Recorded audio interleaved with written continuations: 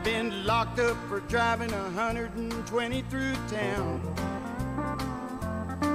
I've been shot at and cut with a knife, messing around with another man's wife. But other than that, we ain't nothing, just good old boys.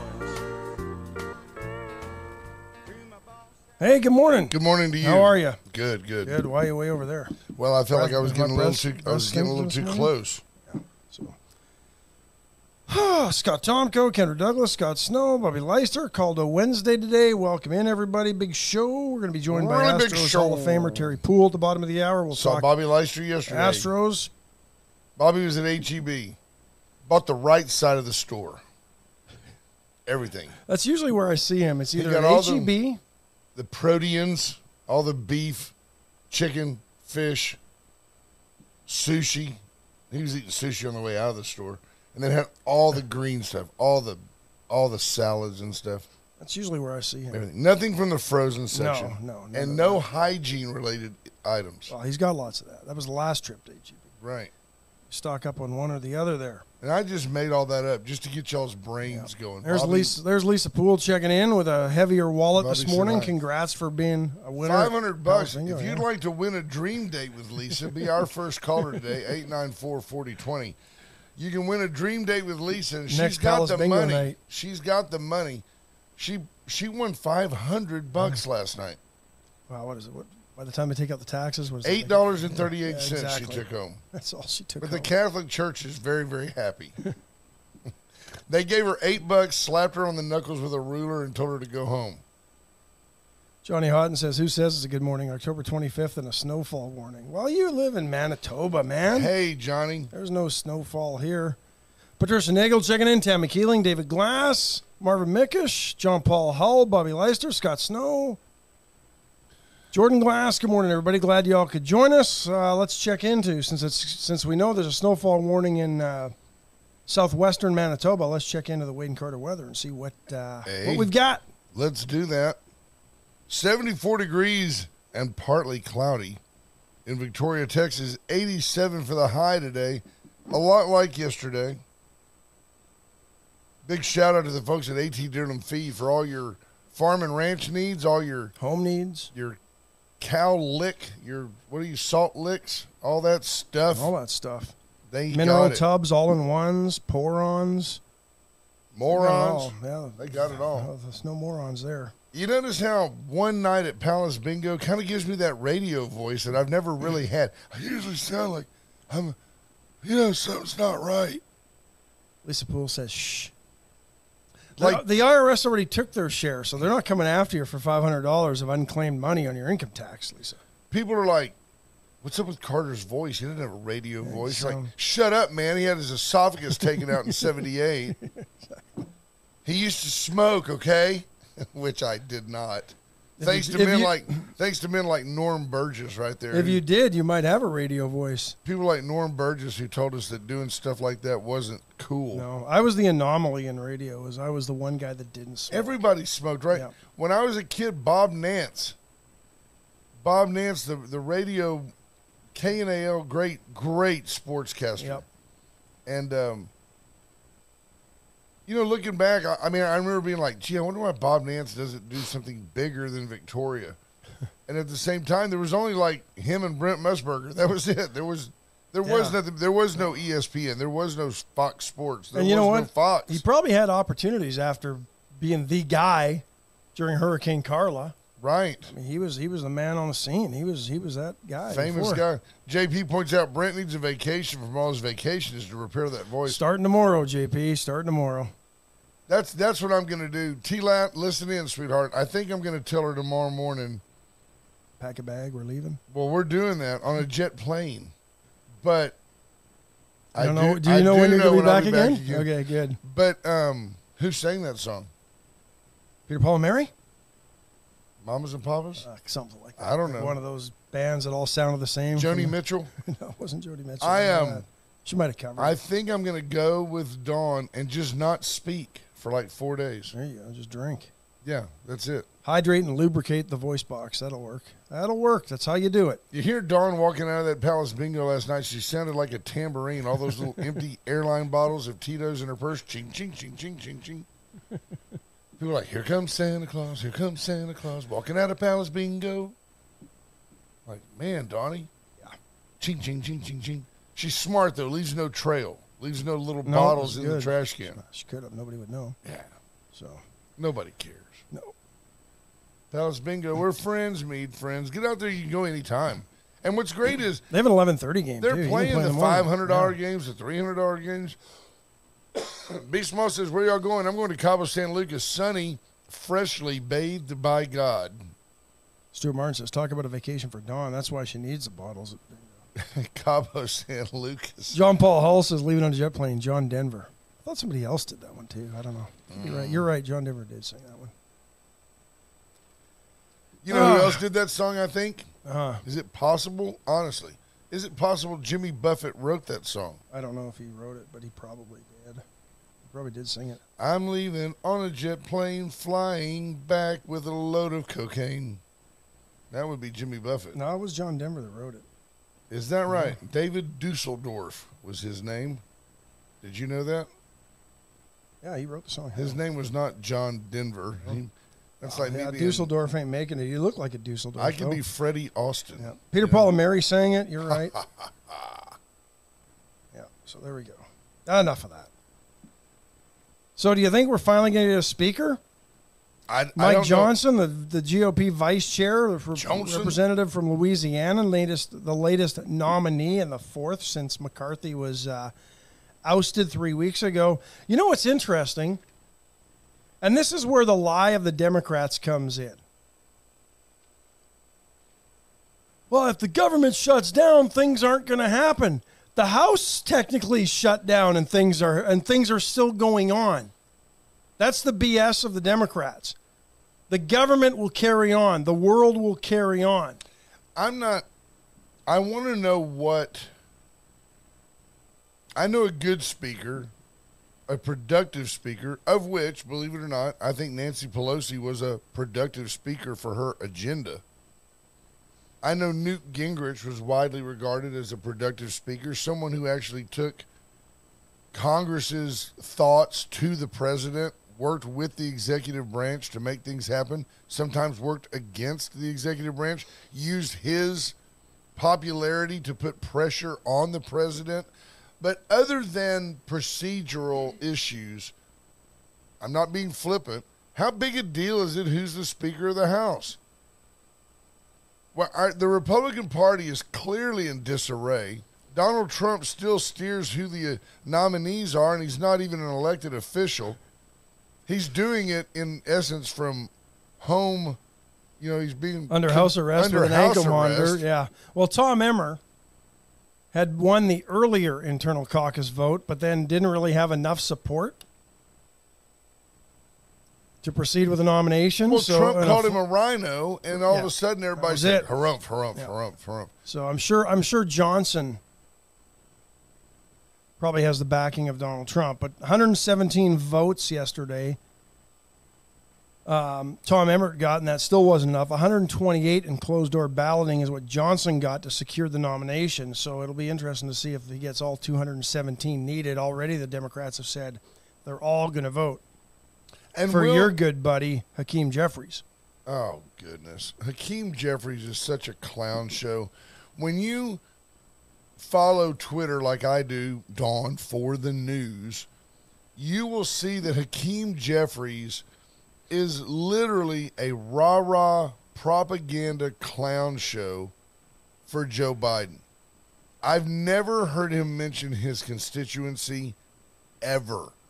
All he does is go, I'm 100% behind this president. He's doing great things. Broad, Yeah. panaceic statements. I'm like, dude, you have time. And, and the truth is, he's probably not typing that. A staffer probably is. And because he's off doing congressional things. It is a weird dynamic. I've been in the Cannon building, walked right down the hall to where Michael Cloud's office is on the right, and before you get there, right there on the left is the office of Hakeem Jeffries. He's just another guy in Congress. Yeah, except But he's, the minority leader. and he's a black guy, and he's from New York, so he's been elevated to some kind of iconic media darling status that I just don't see No. at all. Mark Kurtz has a good question. Didn't John Denver actually leave this world in a jet plane or in a It plane? was in Yeah. a, it was in a plane. Yeah, yes, it was. was, an It wasn't a jet experimental plane, it was- aircraft, and I think he had probably had a few too many gummies I to don't, land. I don't think it was an experimental, was it? I think it was. I think he was a very. Uh, I- I think he was a very accomplished pilot. Which is worse? I think musically, Denver's the bigger loss, but which is worse in the world of gee, did you really do that? John Denver going into the into the trees or the ocean, or Sonny Bono going into a tree on skis? That one's like, how does that happen? Did you snow ski much as a kid? I know you skated. Yeah, a little bit. Let me Um, tell you one. I, I didn't like the extreme cold. I'm not going to lie. I if it got below 10 degrees Celsius, I wasn't going anywhere unless I absolutely had to. Like I the- can like take you back to, you know, and those of you that that grew, and ladies too. Maybe it's maybe it was a car wreck, maybe it was a sports related issue, whatever. Have you had those moments in your life when everything really just slowed down, where you were in a, a state of slow motion? I can take you back to numerous times. Scott Tomko, I guarantee you can too, where you pitch a baseball and a guy hits it and it's coming right at you. And the next thing you know, pow, you caught it. And it was, they say, oh, great reflexes. In that instance, before you catch it, I can recall seeing that baseball coming at me. And look, Ash, it's just turning like that. And I can see the laces. It's like my brain froze it. And it's a good thing you did. and I'm not exaggerating. It was almost like the Matrix, where I'm like you're like, and you let that ball go by. Um, I remember that. And by the way, a lot of people put a lot of wood on balls that I pitched, so I had lots of opportunities for that. But I can take you to a moment where I'm a very novice. I'm a Texas snow skier. I'm not a snowboarder. I would still love to go. I was a serviceable green blue slope skier. I could ski the blues. I ne- I went on a couple of blacks to say that you know well we skied the blacks this year and I was scared to death. All I did was go Yeah. ha ha I skied the North American. just trying to get down. No, that's I'm, I'm the same know, way. I, but I on the could- blues, if blues I I could, was all right. now I would rather. and, And I'm snow, not and exaggerating. snowboarded. I would rather have a nice toddy, no poles, and about an 80 yard wide green slope that goes for like six miles where I can just go yada yada. It's the it's the Yada. it's the Aspen Vail version of walking on the beach. Absolutely. Yep. And they're like, you hear, you know, you say like, on your right, on your right. You know, the people up the mountain have the responsibility not to hit you. That's the rule in skiing. Yeah. And you would hear people go, fat Texan, fat Texan, because they would just go right. And I'm like, yada yada. Scott Tomko says that's how he'd felt in the batter's box before getting hit in the nads. Right. You can see that thing coming in. Right. Stuart Martin wants to know you were in the asked you were in the Matrix. B Small says yes. This show reminds him of stuff coming at him in slow motion. But I would all of this around the barn business to tell you that I did have one of those moments, and uh, and B Small can probably verify this too. You have those moments where you simply have to perform or get hurt, whether it's driving a vehicle. Allen's Burger Service five seven eight sixty three hundred. If you don't pass the test, but it's like ha ha you have to swerve the car and you and the car essentially become one to avoid an accident Yeah. i remember being with a group of buddies all better skiers than me and we were going down this slope and they wanted to go over to this slope and there was like a little pathway through the trees well they went so i just with them well then when i got in there there were some like some little bumps and the bumps Those are called moguls. well but they weren't really Oh, yeah but okay. they, you're going downhill still Yeah. but the there were little dips in the All right. and- Whoop-de-doos. and, I'm going over the top of them because my skis were longer than the valleys, right? And I I remember my brain. I'm used to turning, and now and I'm tall, right? You have to kind of like put your foot down to turn this way, or put your left foot down to turn that way, and it was kind of like in that instant. I'm honestly going honestly, 25 miles an hour, no helmet. Got my you know no helmet. helmets for sissies. I don't think a helmet would have I had shades on. I had shades on, not goggles. And I remember it being like I had to be like the hip skier. Those plastic aviator looking ones that were red, white, and blue. yeah, the oh, frames. nice Yes. from Robert Redford, and they had to be like, and I had to do like some pilot stuff, Mav, and boom, boom, boom, boom, boom, and I came in on the other side and immediately went and stopped, and my buddies were like, "Come on!" I'm like, "I'll catch, I'll catch up," and I had to kind of like dump some gradu out of my bibs. it happens. Man. But it was it was like a yeah I can do, I can that. do that. and I didn't ever do it again. Yeah.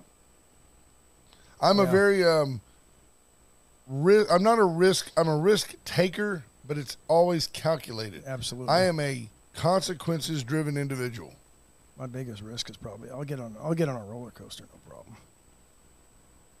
You know, you get on a roller coaster nowadays. There's one at at um, Fiesta, Texas. Or they call it the Shark or the Jaws, or you you hang suspended. Yeah. And so when when you get there, they tell you take your shoes off, you know, because you're and there's a huge pile of shoes there, and you're in, and they drop the things over you, and your legs are dangling. You're you know, well, it just starts off. It's so powerful that, and almost immediately you go into an inverted deal. You can talk to the people. Well, I just I was having a conversation with you, and uh, it's intimidating. I you like roller coasters? I do. I don't like that stuff. Yeah, anyway, White, good morning. Hockey, half a minute before we take our first break. Uh, Flamers last night. It was a Rangers Flames game. Flames got out to a 1 nothing lead at home and then proceeded to lose 3 to 1. That was a hockey five seconds. That's all it was You're worth trying to the save Flames, that up. the Flames played like crap. Well, I need to buy some time maybe later on when, when there's actually something to talk about. There you go. Folks, the VCS companies for all your communication needs. When you need to talk about something, reach out to the Hartman Communication Empire. They're on Kerr Boulevard, just inside the loop, off of Main Street. For everything you need, you can go by and get a new cube, an AT&T, the only locally owned and authorized AT&T retailer. Get a U, a uh, AT&T cord for your phone. Yep. Whatever you need, the VCS companies have it covered in spades. You may want a ranch radio. You may want a fleet of radios. You may want body cam for your people. You may want GPS units for your vehicles that video where your drivers are. You may want to make a film studio in your bedroom. They can do it all at the VCS companies. Chesnick Furniture Company can outfit that bedroom studio. There you go. 116 West Juan Linn. Pop on by. Talk to Bobby Leon and uh, the gang down there, and they can make your dreams happen. Can you imagine if you walked in and Bobby Leon was trying to show you some bedroom furniture and you said, Well, I've got a very bespoke plan in mind. Where would I put the handcuffs on this headboard? And Bobby would be like, I, I don't know anything about that. Where does the pole go? Right? Chestnut Furniture Company, 116 West Waterland, and then Veracruz. Today is Caldo Wednesday, so get in there today because you can't get Caldo till next Wednesday. Simply the best Mexican food in town. Absolutely. You got a friend doesn't want caldo? It's not cold enough. Fine. They've got like Take eight, it home and freeze it. eight or nine Eat it- lunch specials under 10 bucks. Eat it cold. Can't go wrong. Eat it, it eat it lukewarm. It is good. It is good. B. Small says Carter's on speed this morning. No, no, I'm just very excited to be here. I love you guys, and, and it's a it's a great time to be here. So listen, Ver- listen. yeah. Before you do that, Okay. because I'm going to exercise. By golly, I'm gone Thursday and Friday, and I want Mm-hmm. I want some input. Hats off to the Texas Rangers now facing the Arizona Diamondbacks. D backs won four to two last night. I, I did not see that coming, and and they were talking about Schwarber and Harper being like one for eleven. I didn't think after a two nothing lead by the Phillies that it was possible for the Diamondbacks to come back and win four the next. And so last year the Astros beat the Phillies in the World Series, correct? Yes. So realize, realize that that's where we are. I mean, the Astros go to game seven again, don't quite make it. The Phillies go to game seven again, don't quite make it. If you asked me today to handicap the likelihood of one of those two teams, whether it be the Phillies or the Astros, going back to the their respective championship series next year, the Astros would by far be the favorite to me to go back to their championship series than the Phillies. Phillies volatile group, talented group, love to have Bryce Harper. Well, the problem with twenty the, like the- Juan Soto. seems like he's been there 20 years. The problem with the Phillies is they're stuck behind the Braves in the in the National League East. And the Braves are by far the dominant team in that division and if somebody I mean and if, if so and they were there was what a, a 14 game difference between the Braves and the Phillies this year So, so, what, what do you say to people who claim, well, the Orioles and the Phillies were the are the Orioles and the Braves were the two best teams in baseball this year? There's a lot of people yeah, that feel that regular way. season. You know, neener, neener, neener. If you're a Rangers fan, Well, and here's the thing. They, I mean, the Rangers, you know, you could argue. Well, both these teams, the only reason they're there is because they were wild card teams. Yep. They didn't win divisions. But I would love to see the Rangers win this series. And I'm going to stop short of saying, oh, the Rangers should sweep. I don't want to be that guy that puts the jinx on them. B. Small says two dome stadiums in the fall classic. I need to see some weather involved. Bah humbug. I agree. And, but I, I will tell you that I- if I remember correctly, I think there was like sleet in some games in New York back when I was a kid. Yeah. I want to see the Rangers win for the state of Texas and for the Rangers program. The Rangers being the only team in Major League Baseball that didn't have a pride event at their new stadium. Was proud of them. Well, there were enough of them going on around the Yankee Stadium. They didn't need one in the Yankee Stadium. right? No, I thought the Rangers were the only Oh, the Rangers. do Yeah, that. that's right. But I'll be Frank Mejia, Yanks 2024. Yeah, not oh, going to happen. Frankie. Mark Angel checking in. Glenn Merrick, Steve Kidder, Michelle Wilson Hawkins. I'd like to see the Rangers win because then we could also claim, honestly, AL West superiority in baseball over eight of the last, you know. and AL superiority. And then you start baseball. reaching back and you pick up those really, really good Ranger teams in 2010, 2011, and you Back start. back World Series that they couldn't win. That's okay. You know, Yeah. right? Got to get there to flounder. People ask me all the time, well, oh, Oklahoma gets to the college playoff and then they get beat. I go, gosh, I wish we could get there. Yeah, You know, give me a shot at that. that's exactly it. You got to get there to lose. And I'm like, man, and you, you don't think these guys are tired? I mean, I know if you're a professional athlete, you should be pumped up. You don't need to be motivated to play in the World Series, but you don't think these guys are tired after 180 games? I wish I wish some of the Astros would have looked a little more motivated in the ALCS. But I will tell you this: I will. The only criticism I'll give you is this: in the event the Rangers don't win, part of it to me is going to be attributable to they celebrated early in the division and they had to end up playing that whole extra series because they should have taken care of business back then, beaten the Astros back then, been focused on the prize, and then skated into the World Series, which I think they would have done. I do think they would have done that. Instead, they had to go beat the team with the second best record in all of uh, They had to go the, the American League. They had to beat, beat the, Tampa. the Rays, Yeah. and that took something out of their staff. And and so I'll be curious, but I do think the Rangers are the better ball club. I do too. Absolutely, and they were they were six wins better than the Diamondbacks in the regular Yeah. season. Well, and I keep going back to the last three games that we played the Diamondbacks. We just slapped them around yeah.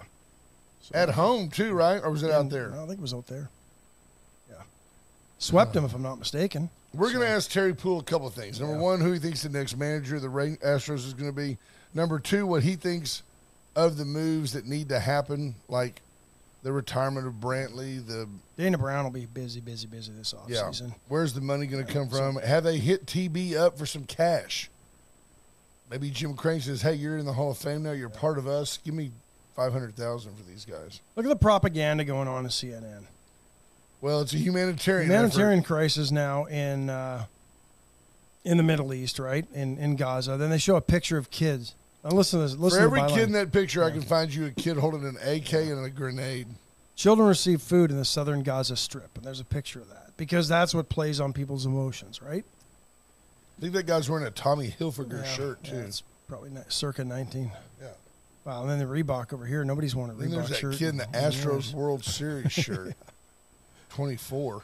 As the human, this is straight out of CNN. As the humanitarian crisis in the Middle East deepens, the main UN agency working in Gaza said it'll be forced to halt its operations later today due to a lack of fuel. Doctors in overwhelmed hospitals are on the brink of shutting down. Have said that they, um, The waves of new patients injured daily and babies relying on oxygen supplies will die if fuel is not brought in. Just eight out of the 20 aid trucks scheduled to cross into Gaza yesterday made it. No reason as to why the other 12. So obviously the roads aren't the problem anymore. If eight can get through, how can 12 not get through? 12 others.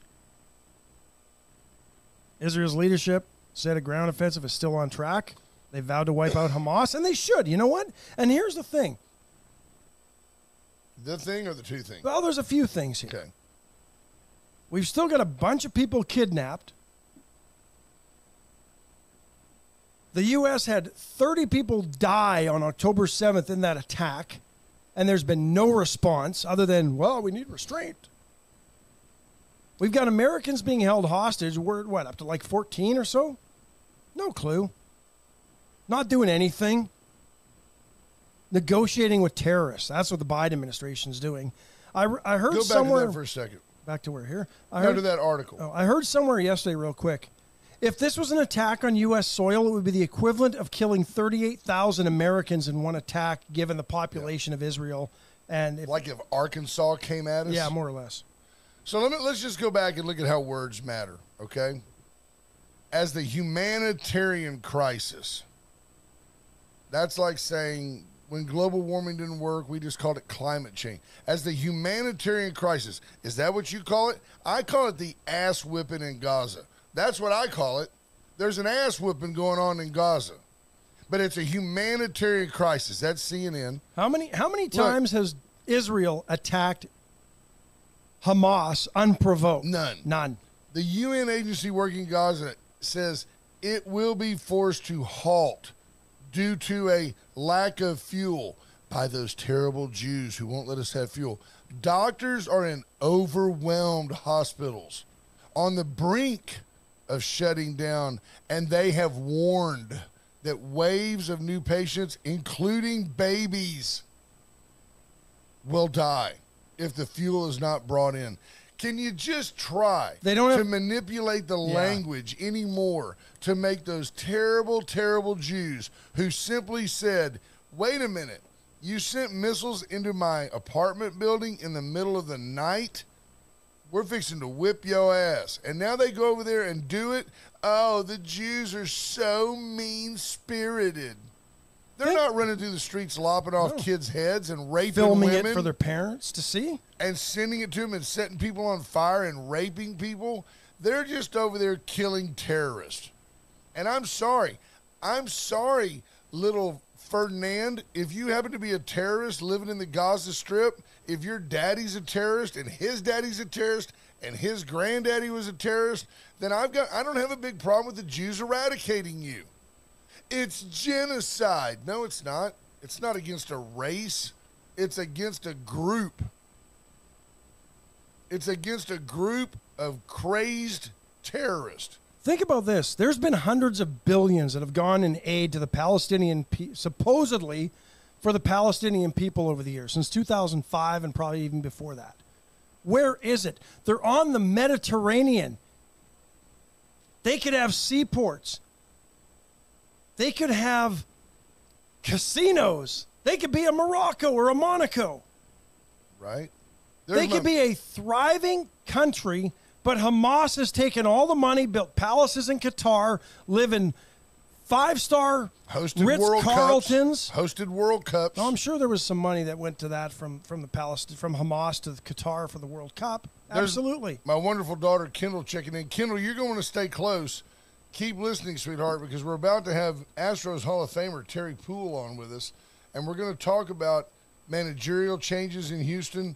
Um, and Kendall, if you'd like to type right there, what's the number one thing you think the Astros need to do next year?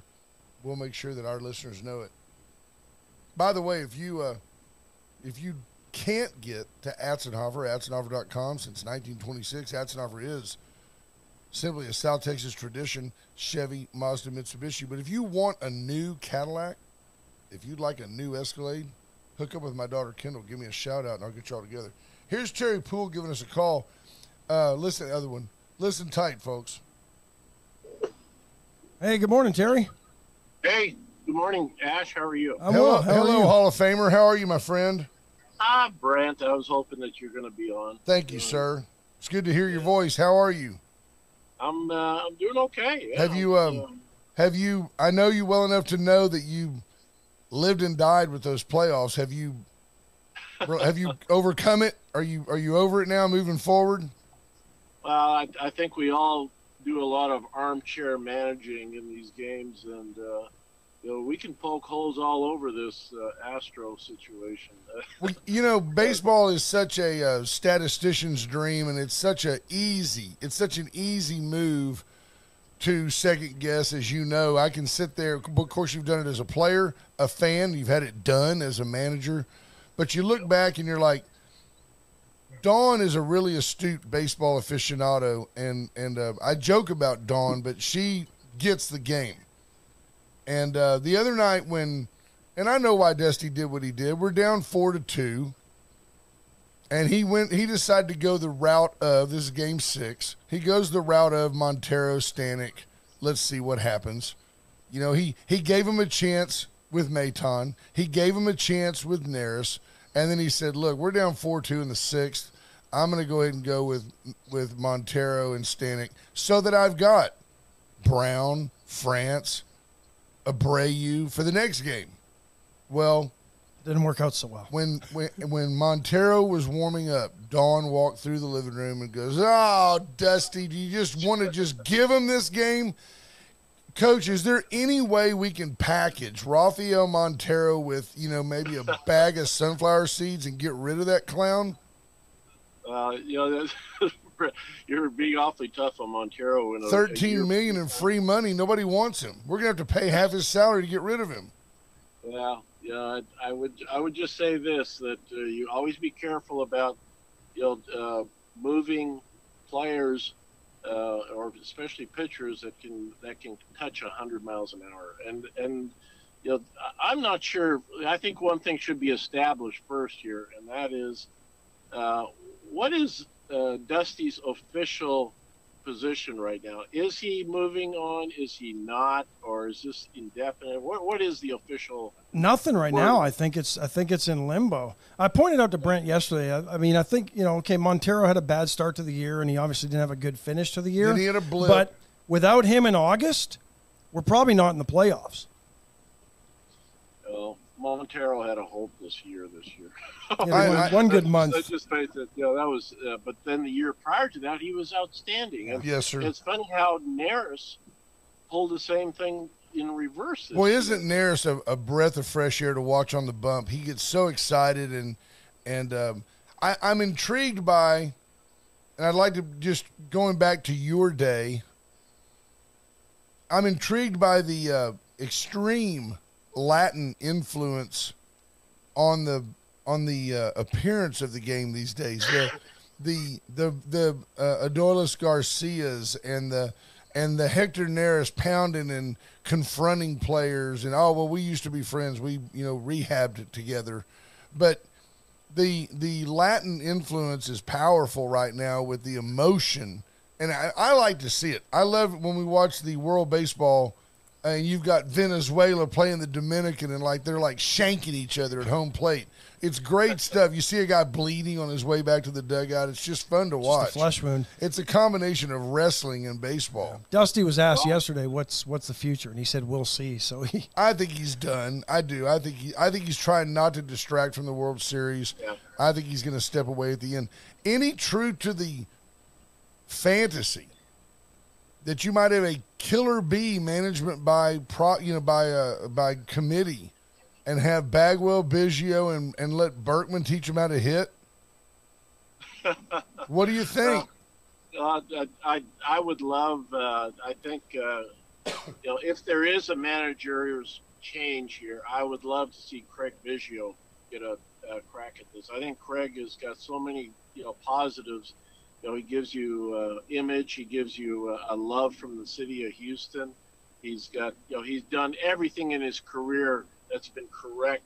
You know. Uh, uh, Well, since you know, since you straightened him out, He- since you straightened him out in the '80s, uh, he's he's a he's a he's been through tough times uh, with the Astros, and he's seen the glory days of the Astros too.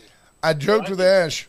I you know, said- I was in. I was impressed with him and Bagwell's ability to hold their poker face. Yes. sitting behind home plate that entire series, and watching the, some of the approaches and hacks these guys took, and they didn't. They weren't as disgusted as the rest of us. I, I have joked with Ash that if Bagwell goes out, you know, Montero's on the mound, he gives up a jack, he's he's walked a couple of guys, and Bagwell goes out to talk to him on the mound, and before he says a word, he just jacks him in the jaw with a right. That's what Baggy would do. He would go out there and just just jam him in the face, and then go give, give me the righty, bring in the righty. I, You know, uh, I- be- be- before we move from the subject of Dusty, I, I think you got to give many kudos to Dusty for getting us through those early years that Yes, we sir. got here with all that mess. Uh, I'm not sure there could have been too many other guys uh, in baseball that that could have smoothed it out as much as it could be smoothed out. But he did a wonderful job. His team won a World Series under his management. Um, you know, uh, this year, you know, sometimes you when you make a decision, uh, things go wrong. You know, I I remember myself managing at the college level that uh, you know one year I, I would try to always make a decision, make the toughest on the hitter when they came up. So I would make some maybe a left-hander against a you know it's different in the college level nowadays. These are real professional hitters and they're not as affected uh, by those moves. But but the, my last year there were some I, I did the same moves and uh, I went like what it would blow up in my face and I went well geez, what am what am I doing differently than I did last year? And so, uh, and then, uh, and then sometimes your teams just move and play by themselves, kind of like when we get into the we got into the playoffs. Uh, Ash, uh, all you got to do is just be there so that they don't uh, do something stupid. yeah, just Yeah. roll out the balls and let them play. Yeah, that's what you do, and uh, I think uh, they that wasn't done this year as much as it was last year. Well, I don't know that it could have been done, and Brent pointed this out when we were talking about it um, yesterday. I don't know that it could have been done as much this year as in past years because of all the injuries that the Astros had this year. I think Dusty, Brent said Dusty had to kind of manage this year for the first time. Yeah, I mean, I felt like Dusty Baker may have done, even though it doesn't hurt my feelings to say that I believe Dusty got outmanaged by Bochy in the in this series. I also feel like Dusty may have done his best job of managing this year just to get us to a game seven. There was a lot of band aid, a lot of duct tape holding this team can make- together. You can make a good case for that, Brent. Absolutely. Yes, sir. But you got it. You do have to go back to something. Uh, there's a couple things. Valdez was one thing that did he go too long with Valdez? Just starting the guy, just starting him. He he was not an effective pitcher the last month of the season. Was Verlander Yeah, maybe once. If Yeah. Verlander was available, why do you not put, you know, the second coming on the mound? If I mean, if he's available, Yeah. you know, No, it, uh, it, it, it didn't make sense. Uh, Tucker struggling what he did, uh, and then the, the everybody you have to address that Diaz situation. You know, there's a guy hit uh, what uh, 22 home runs, 21, in 22 like home runs, in like sixty games. and, and got benched. Yeah.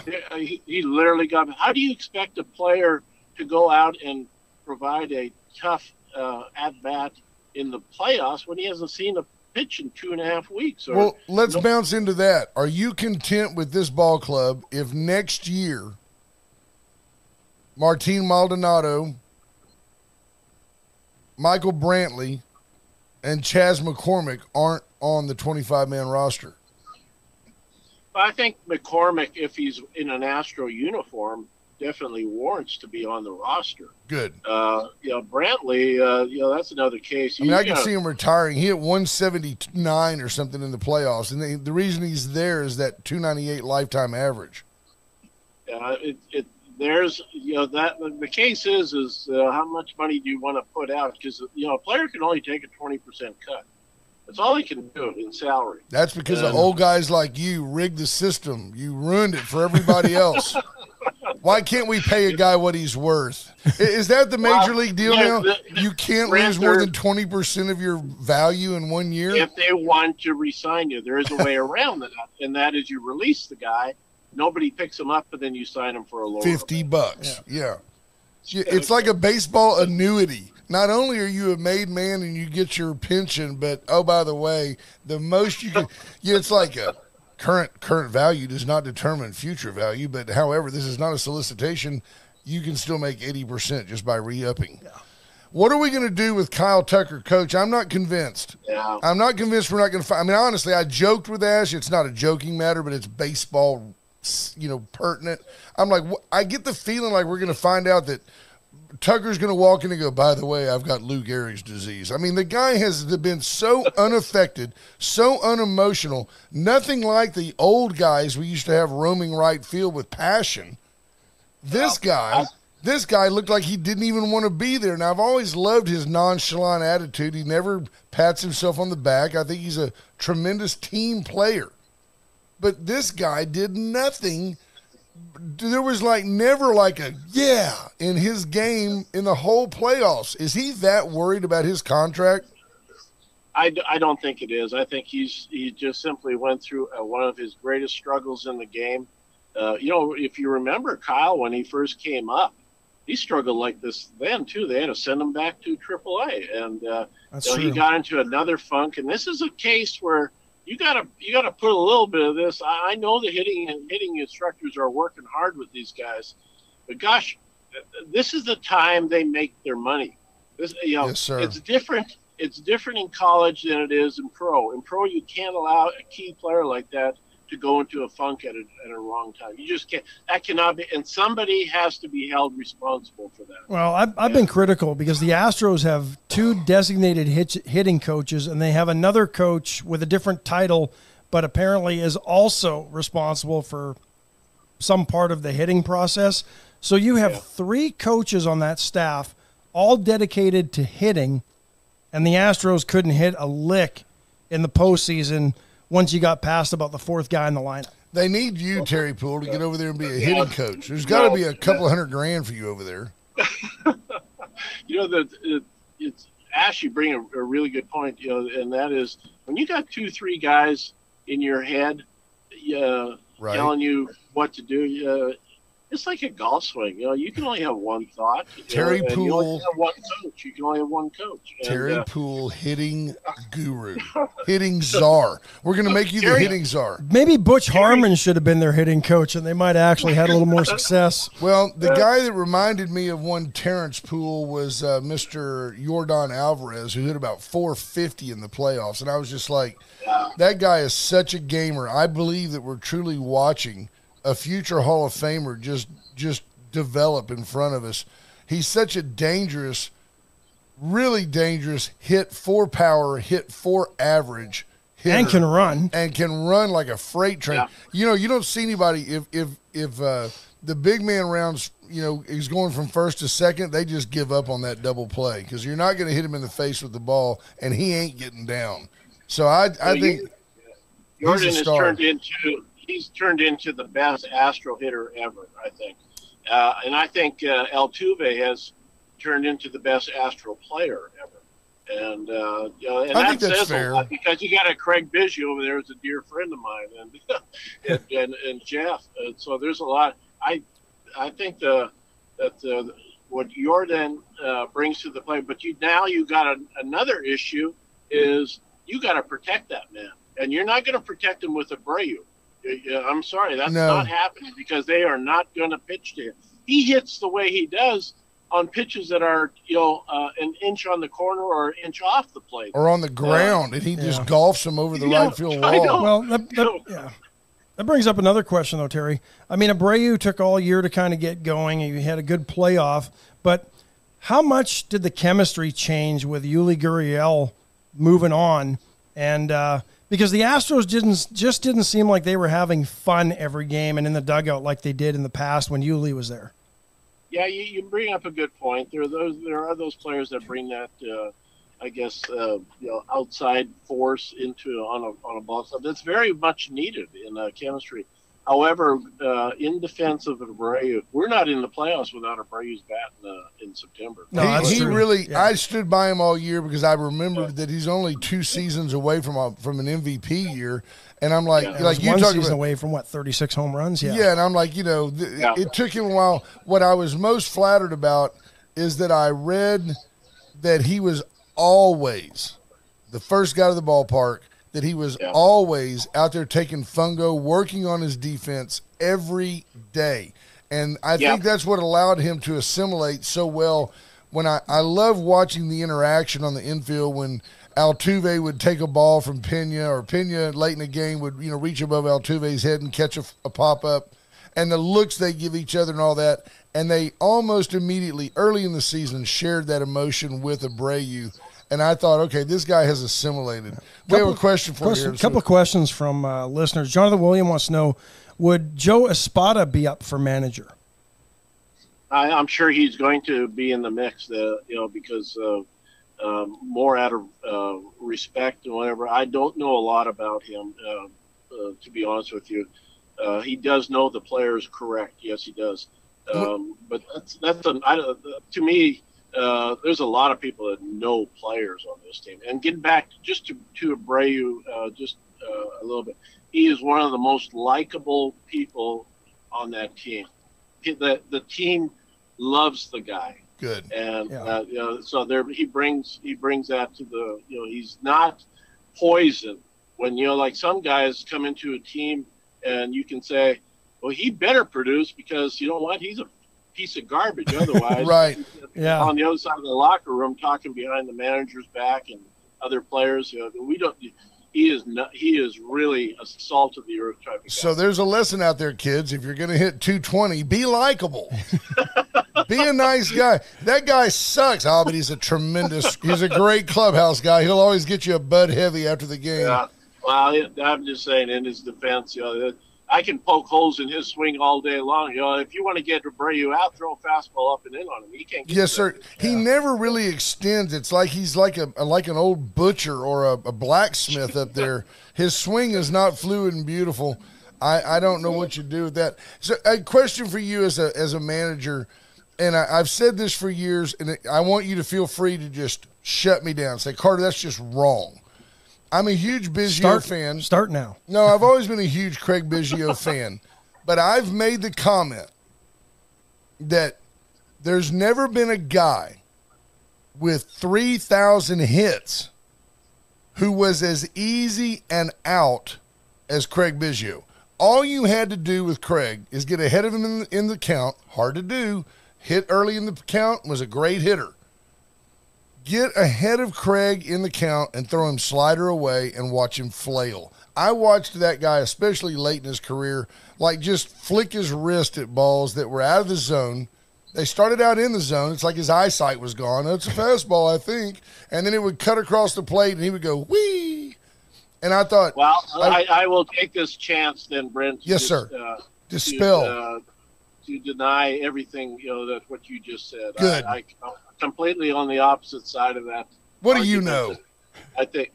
no, I'm not saying that. Everybody's entitled to an opinion, but Uh, you But know, yours people- is wrong. People, people don't get three thousand hits because they don't know what they're doing. no, that's true. Of course, he played 29 seasons.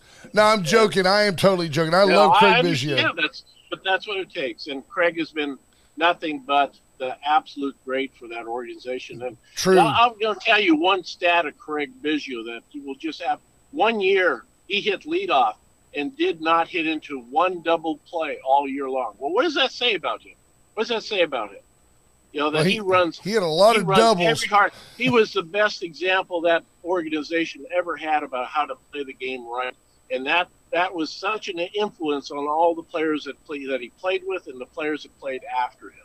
True And story. So, uh, Yeah, I think I he's a great one. utmost respect for him. So please, Brent, uh, don't bring that up to me. Yes, sir. Yes, sir. Yes, sir. I mean that with love. And you know, being the consummate, being the consummate, uh, consummate Canadian, Terry goes, "Sorry, sorry, but you're wrong. I'm sorry, you're wrong. Sorry. Terry, we got to take a quick break. Hang on. And You we'll got time? You got time to hang on? Yeah, yeah. All right, You great. I'm in Houston traffic. Oh, Oh, yeah, you got plenty of time then. Palace Bingo last night. We're friends meet friends. We had a great time. Lisa Poole We won did. 500 bucks. Yep. Give her a call. She's looking to spend it with a friend. Reach out to Palace Bingo every Get night. they're playing. Palace Bingo. Great time. We talked about Atzenhoffer. Great dealership. South Texas Traditions is 1926. Armor Air, 579-0966 for all your air conditioning and HVAC woes. They've got the solution, so make sure you give them a call to handle all of that for you. Chopping block, wacky wing week They've got wings on sale, four ninety nine a pound. Can't beat that price. Absolutely. Let's get back to Terry Puhl. Yeah. It's more fun with him. Yeah, no, I agree. So, real quick, boss, because we talked about you know your great love, affinity for, and respect for the Dodgers back in the day, and you were talking about a player coming in and being a prima donna versus being a clubhouse guy, and I'm reminded of the story of the year that Kirk Gibson joined the Dodgers, and in in spring ball down in Florida or wherever they were, they probably probably went all the way to Florida from L.A. But anyway, Vero Beach. they put somebody put some eye black on the brim of his new Dodgers cap, and he put his cap on, and when he took it off, he had that black halo around his forehead, you know, and and um, and it was a memorable moment for some of the folks that were there, because you know Gibby was a former football player and was a, a bulldog of a guy, and he went nuts. And he said, I'm not here to be your friend. I don't need you making jokes at my expense. I came here because you guys suck. And the reason I'm here is to make you winners. That's because you guys couldn't do it on your own. Now, you want to play baseball with me, or do you want to be a bunch of clowns? And that's the year that he hit the home run in the World Series, I believe, right? I may Yeah. be romanticizing Yeah, it. no, but to, World you know, Series, yeah. the one where he's running around the bases, giving it the yeah, yeah, you know. And I wonder about that dynamic. When I watch the Astros, I see, and I saw it in in Justin Verlander's face, a joy returned to Verlander, a childlike enthusiasm for the game appeared on his face again when he got out of New York. It was obvious to both Ash and me that this guy was home and he was happy. And I did tell Ash earlier, although Verlander's most dominant years were clearly in Detroit, I thought that if the Astros could have won the World Series this year, that Verlander might go into the Hall as an Astro. I think he'll go into the Hall as a Detroit Tiger, and I respect that. But there's a chemistry among these Astros that reminds me of the years that I enjoyed watching the San Antonio Spurs with Duncan and Ginobili and people from different cultures, different countries, but a unified front to try to win ball games that was not businesslike, it was family like. The Astros seem to be a family, whereas a lot of these other teams, I think these guys Assemblage of pieces and, Yes, sir. and, and, you know, a kit car, so to speak. who don't talk in the off season, don't hang out in the off season. Like I picture you, and I remember you saying to Craig Biggio and and Jeff Bagwell, "Hey, now that we're all in the same club, I guess we'll be hanging out together a lot more." And I'm just picturing like you and Craig and and Baggy hanging out in your orange jackets, watching a ball game, eating some nachos. You know, it's a family deal, right? Well, you know, you, you, it's certainly true. And, uh, you know, I'll give you an example of what you're talking about. Uh, uh, two weeks ago on a Saturday, I go out to uh, our grandson's soccer game, and, uh, you know, we're finished with the game, and I look over, and who's out there? It's Craig Biggio's That's out there. awesome. and uh, he's out there watching uh, a friend. Or he's uh, his wife is the godmother to one of the kids that are playing, and so we had the the a conversation. We talked there for about 15 minutes, and it was like, you know, with those type of guys, you can go, you can say things, you know, you know that, that they aren't going to go any further than that Right. and that's what you're talking about with your family. You can get caught up, you know, in uh, in five minutes, and uh, it, we, it was just, a, you know, we're uh, just a just a blessing to be around each other. It's And, like uh, visiting with us on Wade and Carter. You can say whatever you want. Nobody's listening. Steve Kidder says, Steve Kidder goes, Hey, Brent, try Terry's patience again. That was fun about Biggio. But John Paul Hull says, uh, and this sums up our listenership, he says, So awesome to hear insight from a pro player and coach like Terry Puhl. He's a great dude. Jonathan Williams then throws out the tough question Why does Terry think that the Astros struggled so bad at Minute Maid, both in 2019 and now in Yeah. 23? Only two times in history. Great, great question, and that's the one thing that uh, somebody has to be held accountable for that. You know, that's a that's a manager, uh, that's a general manager, and that's a player. Um, somebody has to be. You know, there's got to be some sort of change made somewheres. You you can't. We're losing to people like Kansas City at home. Right. like, come on. But when And- you're there, and and I know you go to games, and Dawn and I go to maybe half a dozen a year, the crowd is rowdy. The crowd is, and it's a packed house. The Astros have got to be among the top four or five teams in attendance. And it's always a pro Astros crowd. And they're I mean, always yeah. wearing Astros gear. The Astros lead Oh, the major leagues in merchandise sold. Yeah. I, I don't, No, and you know, and everybody seems to, in general, like and appreciate the ownership group. I don't know what, I don't know what's missing because they do want to please. They do like playing at home. I don't understand what Yeah. What You What do you think? What, where Where's the mental block? what could it be. Did you ever struggle in a certain ballpark? Uh, not to that fashion. You know, it's, uh, I only But- hit 370 in Fenway.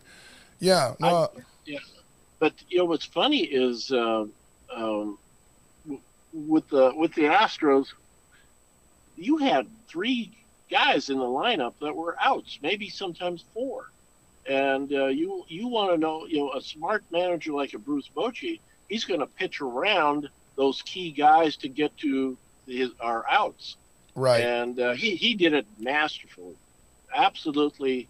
He you know. Uh, um, I always got I love Bruce because we, we were together in Double A baseball, and he would pick me up. and We'd go to the early morning workouts in his blue Chevy Nova, and we would drive a hundred miles an hour to the field, and I would be shaking by the time I got out. I, I love him to death. He hasn't. I listened to all his interviews. He hasn't changed. A, a bit with the way he he's you know he kind of pushes out the words you know his his voice and everything Yeah. you just he you know he's, he's just a you can't li- not like that guy It's He like- is, he's It's Yeah. like six degrees of Kevin Bacon, right? If you're friends with Terry Puhl, you're like one one removed. I mean, like Terry Puhl is the guy that can tell you from experience. Don't let Dusty Baker lie to you. He laid out of the lineup when J.R. Richard was on the mound. Don't let him lie to you. I love that. I love that you know these guys. By the way, Coach, you have aged better than Bruce Bochy. Bless his heart. The road has been hard on that man. I think Wow. the He's got cat- the bad hip or something He's from had- that catching. You know, bless his heart. well you bet it was you know he struggled with his legs back then and then he had two knee surgeries you never know by the way he walks out to the mound but you know he's I think that's part of the reason why he left managing Yes, sir. he's, The pain. he was so embarrassed to walk out to the to get the pitcher Well, you my know, he's my lovely bride, my lovely bride in full Astros gear, Donnie, just the other day, just goes, "Look at Bochy. He looks like he's got to go potty." I said, "Man, Don, give the man a break."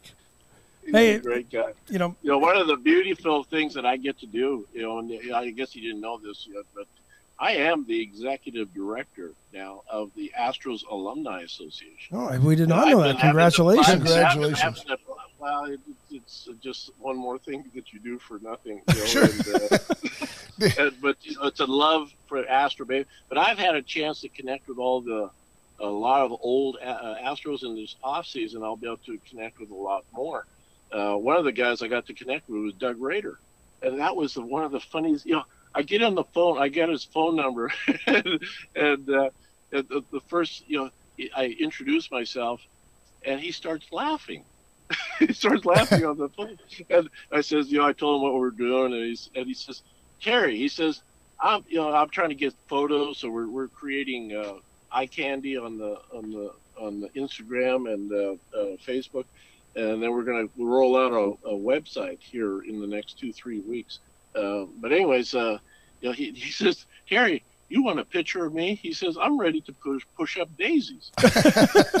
Well, he sends me the photo, and it's a photo of him. You know, he's sitting with an old Astro shirt on that he has, and and no socks on. He's got bare feet. it's just, it's just a, and it's player after player I'm getting to reconnect with. You know that I I may have had a casual uh, friendship with, but He uh, was older than you. Rader played before you. You played Yeah. with Dierker. Managed the Rangers for a while. Yeah, I told him that I saw him and when, when I was in a minor leaguer. I would walk over to the main field of Cocoa, and he was the third baseman. He was playing the game. This was a real game that they were playing. Well, an exhibition game, spring training, and guy hit a ball down the down the third base line. He dove, caught the ball in behind, and was screaming at the base runner. He says, "Forget about it, you're out!" And he threw the ball to first base for an out. I saw that, and I went, That's I was awesome. Like, this guy is nuts. Speaking of that, as a as a manager, somebody who appreciates somebody showing up to the ballpark every day. Have when was the last time you saw a third baseman turn in the type of year that Alex Bregman did this year? Yeah, Breggy is. Uh, uh, he he had an incredible defensive year. You know, he had 90 some RBIs. You know, he comes to play every day. He, you know, he's he's got that good hard body. He, he plays. Uh, he, he was without guys like him. You know, you, you think you could.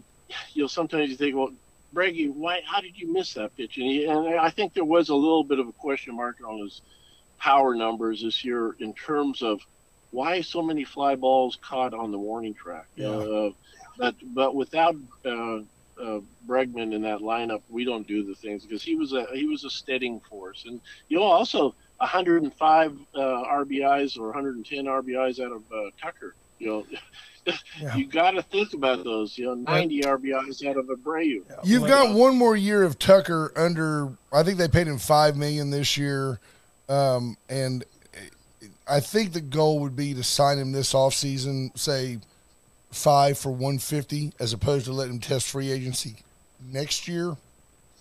Is that you? You think that's a priority for Dana Brown to get him signed long term, like they did Alvarez now? Uh, it- they'll never get them cheaper. There you If go. that's what you said. You'll never get them cheaper. Now your decision is, do you want, you know, you, you got to make a hard decision. Say, can you get them out of this funk? Of course you can get them out. Oh, of course you can. What is he? Twenty seven. Yeah. Yeah. You you you, ne- you you've never had a better opportunity to sign that guy. You couldn't sign people for who have 110 RBIs uh, uh, in front of their free agent here. Right. So, like yeah. he, yeah, but they have an opportunity here, and if they uh, if they choose to that he wants to be part of the team, uh, this is the time to do it. I How can't about, imagine. how about Jeremy. Pena? I mean, guy's good defensively, but he hits what 220, 230 during the year. Is he is he the That was- guy? that was a, I don't know. You know, he defensively he played pretty well. I think. Uh, offensively, you know, he I can poke holes in his swing because he what he does. You know how he sets up Yeah. and uh, you know he, he comes from a very poor setup st- position, so, which means then he has to compensate somewhere to be able to hit a major league phase fastball or any kind of pitch. So I would I would seriously get him to change that because he has an extra move in his swing. He gets himself unsquare, and then he has to square up his body again, then to launch the bat So and you can't do that. I used to do that with players with with ISA. You can't do that and be ineffective. You, but they feel uncomfortable with it. What crap? Uncomfortable. If it's You know, coming you- at you at 100 gotta miles an hour, you don't have. To, well, okay, so I know what you're saying. He's got the bat laid off, and it's kind of lazy and laid off, and only Rod Yeah. Carew could do that. It's And it's then he wants to bring it. It's not the bat, Brent. His It's When hands? he does that, he he moves his shoulders back, so that means he gets unsquare. So if he would keep his shoulders there and do all that stuff, that way his square his shoulders are square to the plate when he comes into the. But he when he does all that laying off, he'll move his he's swaying back, and then Yeah. he sways forward to get square, and that's his problem. So maybe with a different, even a, a different posture, would you like to see him more, Yes, more like a like a Bregman, more like a Bre- get in there, get don't- set? I don't. Uh, he he has to change that if he wants to be an effective major league hitter. I'm Well, sorry, we need him to be. Yes, sir. Yeah, yeah, because he's got a good body. He runs great, He's got, and he's yeah. yeah, he's a lovable guy. He's Uh, marketable But how do you pinch hit for him with Singleton in the playoffs? because you didn't have Gurriel. Don't don't get me on that one, Ash. So Okay, I I'm- won't. uh, why why is Singleton on the roster? Period. Nobody else. I It's don't a know. feel good story, Yeah. Terry. It's well, a feel okay good story. then. Okay, you you hit it right on the head. Why isn't there somebody else? Right. What, what's it? You know why? Uh, and you know where I'm going there. Yes, Yeah. sir. You know, it's like, why wasn't that move made? Yeah. Amen. Well, We're out of time. we're sir. out of We time, but the time though. just flies, sir. I, I tell you what, I'm, I'm gonna. I say it all the time, and I want to say it where you can hear it. I just appreciate the conversational candidness, the fact that there's no we we you've never ever told us. Well, don't ask me about this because I'm part of the Astros family. I don't want to be involved in that. You've always been extremely candid. Um, you're you're such a joy, and, and and as to me, don't get me wrong, we're roughly peers in age, but I've always been a huge fan and um, I just really appreciate the time very much. And Ash is one of the few things I'm jealous of Ash because it's certainly not height or looks. I'm jealous that Ash has had so much opportunity just to sit around and rap baseball with you because it just means the world to me. And um, I hope that you have a great week. And we'd love to have you on more often, especially this off season as we address some of the things. And we didn't even get into today No, but the maybe- upcoming contracts and stuff. We'd like Maybe to talk to you post World that. Series, we can have you back and talk about the, the, the lineup and where we go from here. Yes, sir. Yeah. Anytime, man. Hey, God right. bless. Tell your good. family hi, and we appreciate you very much, sir. Yeah, same Thanks. Terry. Be well. Folks, that's Astros Hall of Famer Terry Puhl. And if you didn't get it, we like him. And what a great guy, and what a what a candid conversation A lot with a fun. true superstar. I'll see y'all tomorrow. Brent's on his way to Mexico. Vaya con Dios, amigos. I've been kicked out of my near every bar around.